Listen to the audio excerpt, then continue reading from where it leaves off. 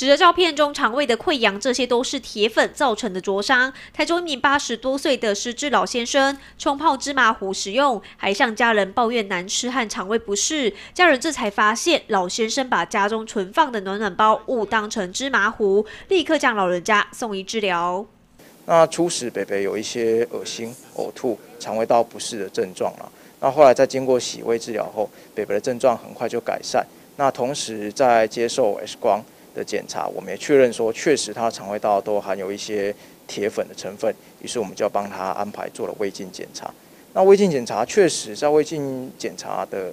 底下也看到说，他在肠胃道在胃里面有残留一些铁粉。那同时发现肠那个胃里面呢，也有一些小部分灼伤、溃疡的情况，这样。医师做胃镜发现，食道、胃部、舌指肠多处灼伤、溃疡和糜烂，一路蔓延六十公分。所幸老先生误食分量不多，中毒轻微，经过治疗观察已经康复出院。医师表示，失智症患者大多有视力以及认知错误的问题，日常生活中的危险物品都要注意。贝贝他本身慢性病就有一些失智的状况，所以也许就是这个失智症的状况，他第一个他认知功能并不是那么的清楚，那第二个也许就是他眼力不好也是有可能啊，所以他在家里面在没有家人注意的状况之下，他有时候就很容易去误食一些不该误食的东西。